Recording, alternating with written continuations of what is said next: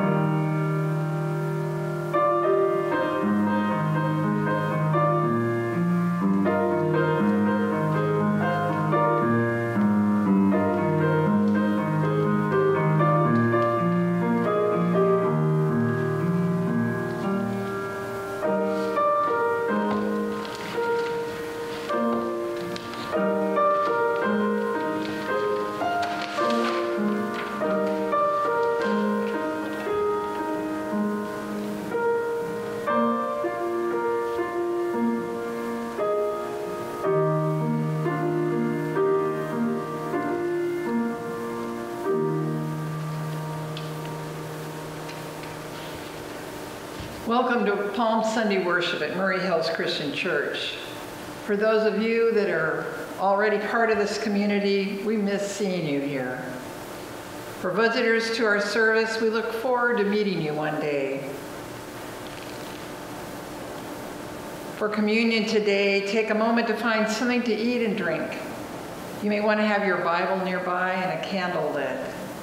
But be assured that as we worship together, wherever we are, just as we are, the Word of God is close by, and the light of Christ is all around us. Now let us prepare our hearts and minds for the worship of God. Let us pray. God of our lives, we worship with songs of praise and we worship with words of prayer and with ears that listen for you to speak your truth into our lives. We worship in the silent spaces where we struggle for hope and for courage. Awaken us to your presence knit into the ordinary. Reveal to us what is possible but not yet present. Heal us that we might be healers. Reconcile us to you and to ourselves that our lives might be reconciling. In our simple and sometimes crazy, consistently uncertain lives, speak to us, God, of hope, which is our anchor, of your peace, which is our rock, and of your grace, which is our refuge.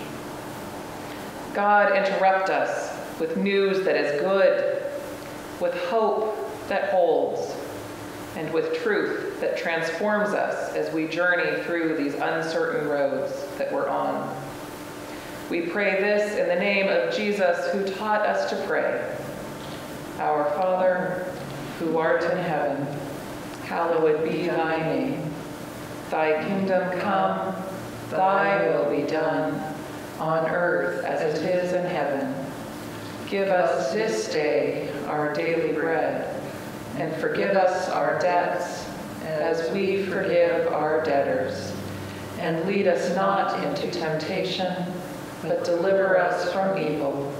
For thine is the kingdom, and the power, and the glory forever.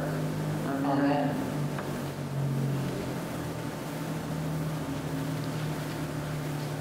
In this time, even when we are separated from one another, we still remember our common calling. God calls us to love and serve others with all our hearts and minds. God calls us to use our gifts of love in all the ways we can. God calls us to use our skills and abilities, our gifts and graces in service to a frightened and heartbroken world. Let us consider the gifts we can offer even now as we listen to Bobbie Goolsbey sing.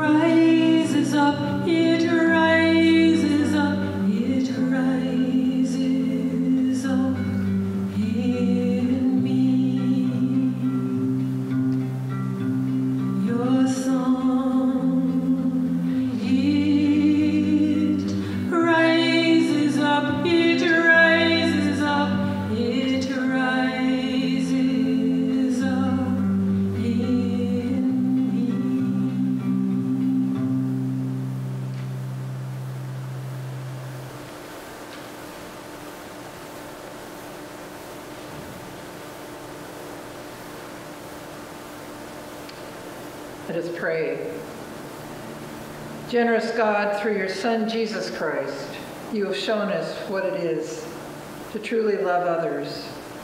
You call us to follow your example, to love our neighbors as we love ourselves. We thank you for your generosity. We thank you for calling us to be generous too. We stand at the foot of the cross to offer you our love and our lives. We stand at the foot of the cross, knowing that only here do we stand on level and solid ground. We pray that you will give us open hearts and open hands.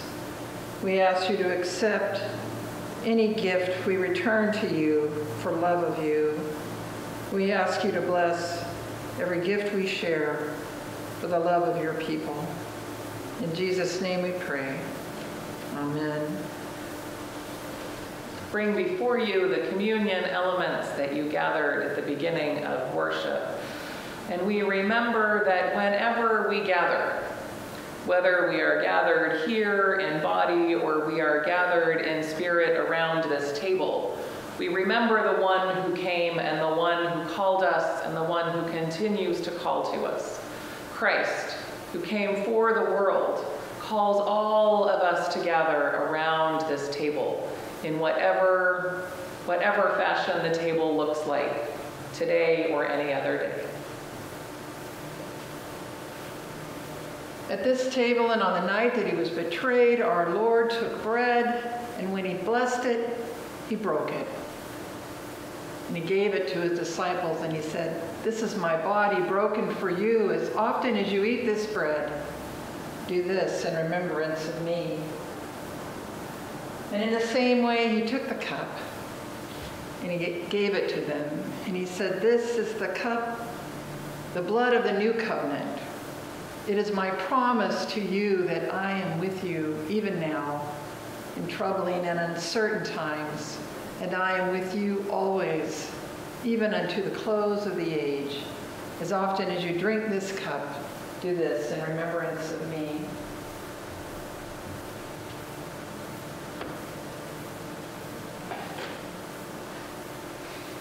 Let us pray.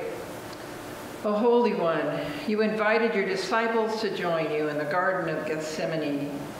You asked them to stay awake with you through a sorrowful night. We know that the apostles failed you. You call us to follow you all the way through a long Lenten season. You invite us to stand with you, to be present with you. And we know how often we have failed you. And yet, even now, even now, you prepare a table for us. You give to us your cup of forgiveness, and it is overflowing. You give to us the bread of life, and it is your life given for all people. What would we do without your love? What can we be but grateful? In Jesus' name we pray. Amen.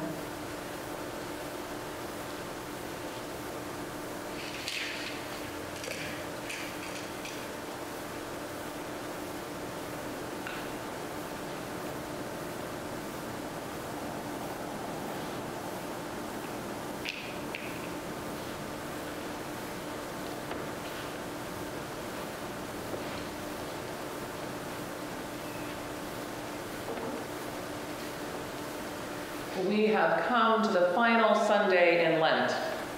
And it is Palm Sunday. And most churches around the country and the world are celebrating palms. But we celebrated Palm Sunday, that first Sunday in Lent, way back in February. Since then, we have been with Jesus in the temple as he tried to get the people to understand who he was tried to get them to understand his message about God and God's kingdom. And we have been with Jesus as he ate with his disciples, trying to get them to see how close the end was. Now, this morning, we find ourselves at the beginning of the end. After Jesus shared the Passover meal with his disciples, they head out into the night towards Mount Olive and Bethany, Mount of Olives and Bethany to sleep for the night. They head down a path that they have walked many, many times before. I wonder if that walk felt different to the disciples this night after that odd Passover meal. I wonder what they did. I can see them walking along the path. They would have been slightly drunk from all of that Passover wine that they had shared. I wonder if they continued that argument they were having about who was the best disciple. Possibly still in a light-hearted spirit when Jesus stops in the garden and everything changes. I wonder if Jesus had stopped to pray in previous walks. We know that the disciples didn't know this was the end. They expected to wake up the next morning and head back into the temple for more of the Passover festival. But instead, everything changed. In our Lenten book, Entering the Passion of Jesus, Amy Jill Levine writes and tells us that in each of the gospel accounts, this moment happens differently. And we shouldn't see that as a contradiction. Instead, we should see the different views and the different things as adding layers to our understanding. And so this morning, we're going to be hearing pieces from both the Gospel of Luke and the Gospel of Mark just to give us a few different layers and maybe deepen our understanding of what's happening. We'll start with Luke 22, 39 through 46. He came out and went, as was his custom, to the Mount of Olives, and the disciples followed him. When he reached the place, he said to them, Pray that you might not come to the time of trial. Then he withdrew from them about a stone's throw and knelt down and prayed.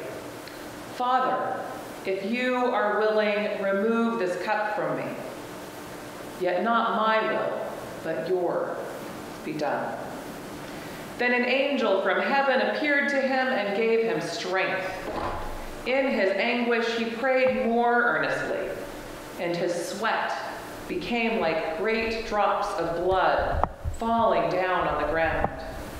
When he got up from prayer, he came to the disciples and found them sleeping because of grief. And he said to them, Why are you sleeping? Get up and pray that you may not come into the time of trial. Here in the Gospel of Luke, we see Jesus praying alone on his knees with the disciples a stone's throw away. In the Gospel of Mark, the picture is a little bit different. Mark 14, 32 through 36. They went to the place called Gethsemane, and he said to his disciples, Sit here while I pray. He took with him Peter, James, and John, and he began to be distressed and agitated. And he said to them, I am deeply grieved, even to death. Remain here and keep awake. And going a little farther, he withdrew himself on the ground, he threw himself on the ground, and prayed that if it were possible, the hour might pass from him. He said, Abba, Father, for you all things are possible. Remove this cup from me. Yet, not what I want, but what you want. I find the imagery in these passages pretty intense. In the Gospel of Luke, Mark, Jesus prays so hard that he actually sweats blood. In the Gospel of Mark, Jesus shares that his distress is so much that he is grieved almost to death, and he throws himself on the ground in prayer. Can you imagine the amount of emotion that Jesus must have been holding on to and been experiencing to actually sweat blood? And have you ever felt such intense grief that it felt like death was just there, right with you? Jesus' emotions in this moment are raw. His prayer is visceral. Jesus knows what's about to happen, and he doesn't want it to. He doesn't want to die. He wants a different option. And so he prays and he pleads with God, not wanting to go down the path that he sees before him, the path that he knows leads to suffering and death. Now, these last few weeks have been quite emotional ones. Our lives have changed drastically, and we don't know what's coming down the road. We sense that there may be sorrow and pain and death. And I know that my prayers have become much more emotional, much more raw as I pray through this current situation that we're in. So maybe that's why, as I read the gospel accounts, I really found myself drawn to the emotion that Jesus might have been feeling as he prayed. Fear. Jesus knew that the path that he was taking was going to lead to suffering, it was going to lead to death. Loneliness. At this point in his ministry, Jesus knew he had to move ahead alone. He would no longer have his disciples and his friends surrounding him. And maybe he even felt a sense of failure. He hadn't succeeded in getting people to change, and he hadn't succeeded in getting people to understand his message about the kingdom of God. It is filled with these intense emotions that Jesus prayed. And he prayed for himself. He prayed because he wanted God to give him a different outcome than the one that he knew was coming. Have you ever found yourself in that garden moment, that situation, similar to maybe what Jesus was experiencing? Have you found yourself facing a situation that you knew was going to be painful? A situation you knew was going to be lonely and isolating? You faced a time of serious doubt looking ahead. A time when you couldn't see a way forward without extreme sorrow. A time that you really wanted God to provide a way out, a different outcome. When we find ourselves having these moments, we can turn to Jesus' moment here in the garden and we can find comfort knowing that Jesus understands what we're going through. Jesus faced a lonesome, painful journey. And in that, he shows us that it's okay to cry out to God. It's okay to plead, to bear our emotions. It's okay to ask for another way out, another option, even knowing, as Jesus knew, that there is no other way. Sometimes we just have to walk through those lonesome, painful, sorrowful places. Now, I love that in the Gospel of Luke, we hear that an angel from heaven appeared to him and gave him strength. During this time of emotional prayer, Jesus was not alone. There was an angel, a presence with him that gave him strength. Strength to move forward through his fear. Strength to move forward knowing that he was not alone. God was present. Whenever we find ourselves having a garden moment, maybe we too can draw on that knowledge that God is with us in every challenging, in every painful, in every isolating and every sorrowful moment, offering us a presence of strength. I also notice in this in both of these passages that even as Jesus is praying and pleading with God his own personal prayer, he still shows great concern for his disciples. In both the Gospel of Luke and the Gospel of Mark, Jesus repeatedly tells the disciples to pray so that they will not come into a time of trial. Because Jesus knows what's going to happen. He knows he's going to suffer and he knows he's going to die. And he doesn't want his disciples to suffer. He doesn't want his disciples to die. He wants them to live and he wants them to be strong and to be able to move forward in their life and to move forward in God's ministry without him physically present with them. And so he asks them too to pray for strength. It is after this emotional prayer that we hear Jesus release his human desires and he moves forward on the path set before him. Jesus calmly allows himself to be turned over to the priests and then to the Romans. Jesus is crucified and he dies.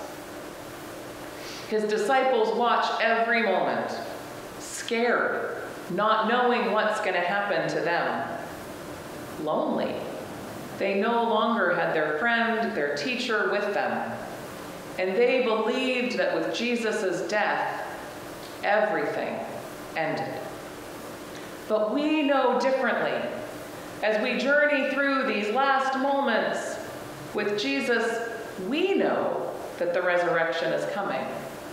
So we are able to look forward with a different kind of hope. And as we journey together in this time of uncertainty, this time of unknowns, a time where many will face pain and death, we can return to this garden moment that Jesus has with God. And we can know that it's okay to pray and plead with God for a different outcome. And we can find strength in knowing that God's presence is with us, like Jesus did with the presence of the angel in the garden. We can also look at Jesus' as example as we are worried and concerned and praying for ourselves to also have concern for those around us, for strength and comfort. And we can look forward with hope to a time of resurrection that we are certain will come. Pray with me. God of the journey, you are with us in times of grief and despair. You are with us in times of hopelessness and fear. God of the journey, you provide us with comfort when we are weary and when we are isolated. God of the journey, you shine light in the darkness, and we pray for that light. God of the journey, we lean into your love and faithfulness in the midst of the uncertainty and the chaos. We look to you with hope, and we anticipate the time when we see that hope manifested in new life, in resurrection. Amen.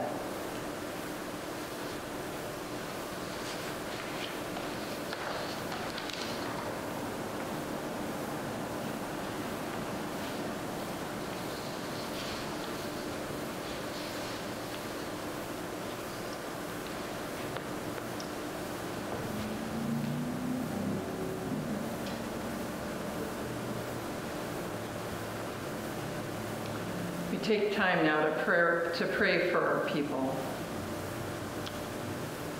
We pray for Dorothy Wilson, who has moved to rehab from the hospital. We pray for the Fleming family on the loss of Mary Sue.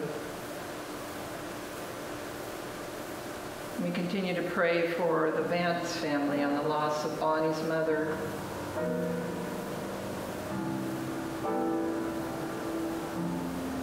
Pray for Larry Menigan and Judy and her son Jeff in Hawaii.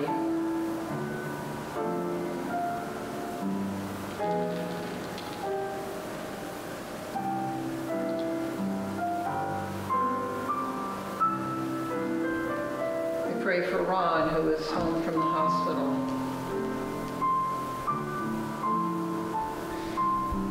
We pray for the residents and staff at Maryville.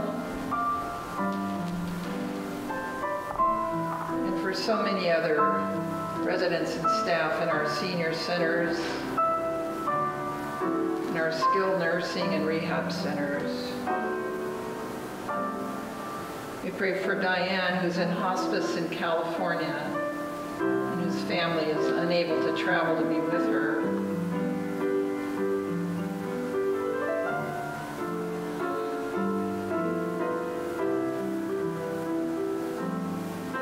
We pray pray for those who continue to answer the call to serve.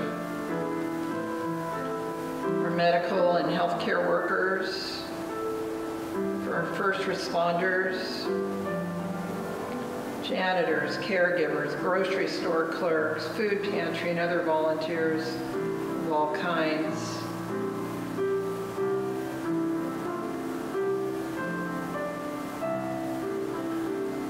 Pray for the political leaders of our communities, our states, and for all nations, that they may lay down rancor and division, that they may work together for the common good. We pray that truth may prevail over distortion, that wisdom will triumph over recklessness, that the concerns, the worries, the cries of every person be heard. We pray for the afflicted that they may be healed, for those who sorrow that they may be comforted.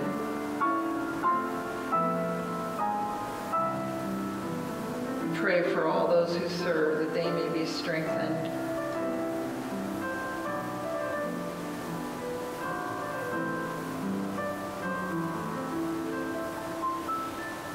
God, you are the source of all truth and wisdom. We thank you for the love you have shown us through the gift of your Son, Jesus, the one who chose the way of the cross in the Garden of Gethsemane. We pray that you will send your Spirit among us, that we too will turn away from self interest and turn instead toward you, knowing that your healing love will flow through us and out to others. God, we bring all of these prayers of your people here and everywhere before you today. We lay them down before you, believing and trusting that you have always been, are now, and will always be faithful. In the name of Jesus we pray. Amen.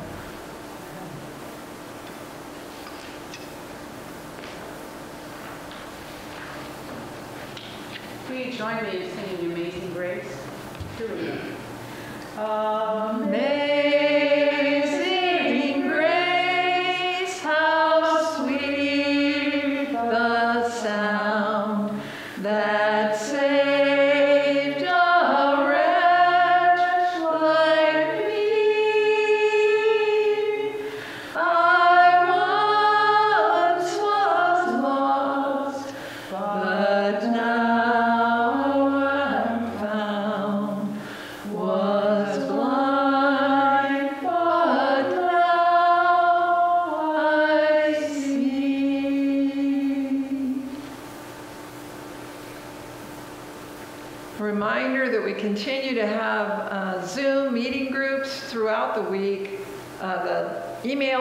yesterday on Friday. More and more of you are finding how to join us, and it's been wonderful to see you. I promise that mostly we spend time waving at each other, uh, besides the other things we're trying to do. So please join us. If you need help getting on to Zoom, then give us a call or let us know that we need to help you, and we'll try to get you there. Let us end in prayer.